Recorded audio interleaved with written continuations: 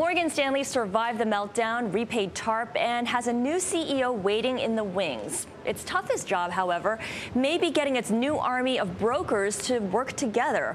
Gigi Stone takes a look at two of the firm's top brokers, Greg Vaughn and Mark Curtis. Smith Barney's Curtis topped this year's registered rep broker survey. Morgan Stanley's Vaughn was number one in the Barron's survey.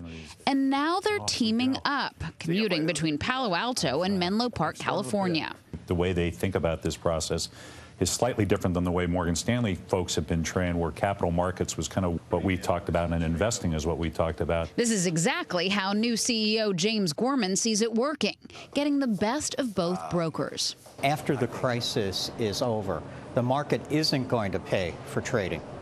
And that more predictable revenue sources are going to have a higher valuation going forward. And that's really the, the, the, move into retail. Still, the list of failed Wall Street marriages is long.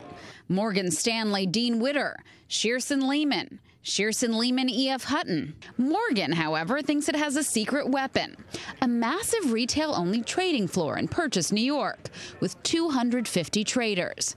Plans are to add as many as 150 more.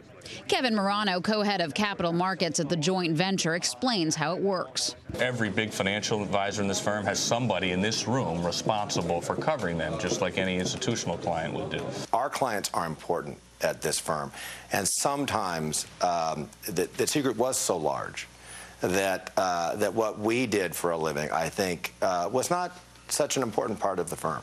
This merger could boost margins 6 to 8%, says Hintz. That is if management can solve the problems inherent in bringing two firms together. All of those are ahead of us in the integration of Morgan Stanley. Gigi Stone, Bloomberg News.